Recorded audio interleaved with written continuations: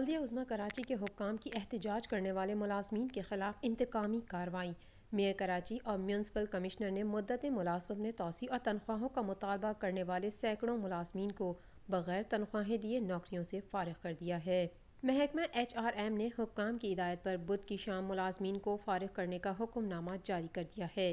के M C हुक्काम ने अवामी रद्दमल से बचने के लिए सैकड़ों मुलाजमीन का एक दिन में बेरोज़गार होने की ज़िम्मेदारी, सिंध हुकूमत और बुध के रोज़ होने वाले एहतजाज की साजिश का इल्ज़ाम पाक सरजमीन पार्टी पर थोप दिया। निकाले गए मुलाजमीन ने फैसला अल्लाह पर छोड़ दिया।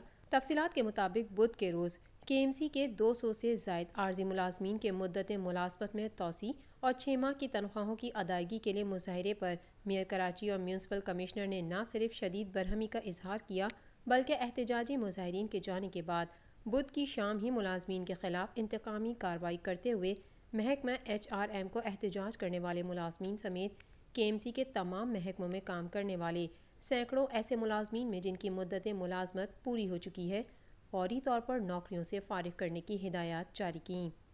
जिस पर अमल दरामद करते हुए बुध की शाम ही महकमा एच आर एम ने एक हुक्मनामा जारी करके के एम सी के तमाम महकमों, सरबराहों को अहकाम दिए हैं कि हुकाम बाला ने के एम सी के तमाम महकमों में काम करने वाले ऐसे आर्जी मुलाजमीन जिनकी मदत मुलाजमत पूरी हो चुकी है, उनको फौरी तौर पर नौकरियों से फारिग करने की हिदायत जारी की है। हुकाम की हिदायत के मुताबिक जब तक हुकूमत सिंध की जानब से मुलाजमीन को दो साल पर आर्जी तौर पर भर्ती करने की इजाज़त नहीं मिल जाती, किसी भी ऐसे मुलाजिम से मजीद काम नहीं लिया जाए। जिसकी मुद्दत मुलाजमत पूरी हो चुकी है। ताहम हुक्मनामे में मुलाजमीन की तनख्वाहों की मद में वाजबात की अदायगी के बारे में किसी किस्म की हिदायत नहीं दी गई हैं।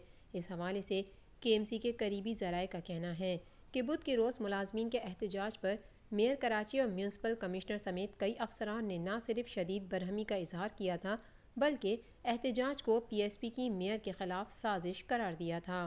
दूसरी जानब तनख्वाहों के बाद मुलाजमत से फारग किए गए मुलाजमीन का कहना है कि उन्होंने फ़ैसला अल्लाह पर छोड़ दिया है। मुलाजमीन का कहना है कि हमसे मुस्तकिल करने का कहकर छः माह तक काम लिया जाता रहा। अगर हुकूमत सिंध के एम सी को मुलाजिम रखने की इजाज़त नहीं दे रही थी तो उसी वक्त हमें बता दिया जाता।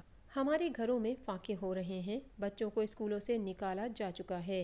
मेयर कराची अपनी सियासत चमकाने में लगे हैं। मेयर कराची साहब से हमारी कई मरतबा मुलाकात हुई है, बात भी हुई है। इसके अलावा हमने एक राइटिंग के अंदर एक अपील दी थी, हमने कॉन्टेक्ट मुलाजमीन के हवाले से 23 फरवरी 2017 को।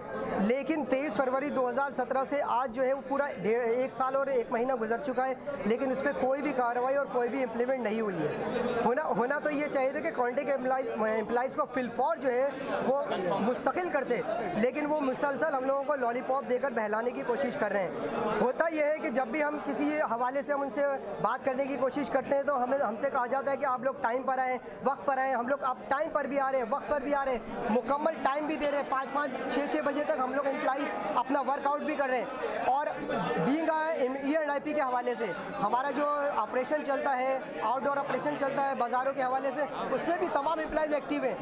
मुलाजमीन ने Pakistan chief justice Sindh high court से के एम सी हुकाम का सैकड़ों मुलाजमीन से बगैर तनख्वाह दिए काम लेने और वाजबात की अदायगी के बगैर नौकरियों से निकालने पर असखुद नोटिस लेने की अपील की है।